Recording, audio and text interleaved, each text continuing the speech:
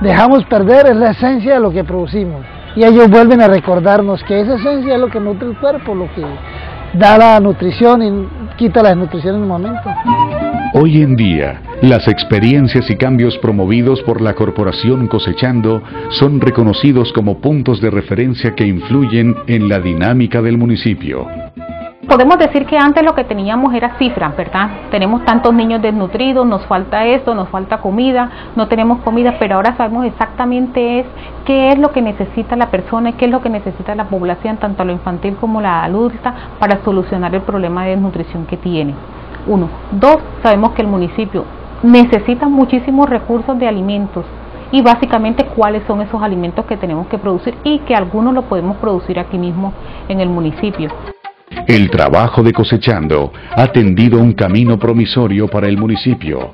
Sin embargo, varios son los retos que tendrá que enfrentar la corporación en su misión de cambiar las condiciones alimentarias del municipio. Tiene unos retos importantes para mí. Consolidar mercados locales de alimentos básicos.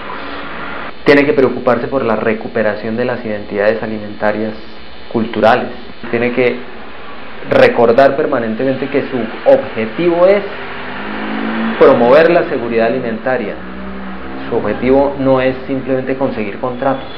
Y para ello igual tiene el reto de tener un cierto nivel de empresa. Es decir, es un reto importante, es un reto grande. Si lo logra, yo creo que al cabo de unos tres años podrá estar demostrando que con su trabajo disminuyó los niveles de hambre y de desnutrición en el municipio. Hasta el momento, la Corporación Cosechando ha logrado que el Carmen de Chucurí sea reconocido como municipio pionero en la implementación de una política pública de seguridad alimentaria y a la vez se convierta en ejemplo para otros municipios, con lo cual se demuestra que las semillas del cambio encontraron un terreno fértil donde germinar y desarrollarse.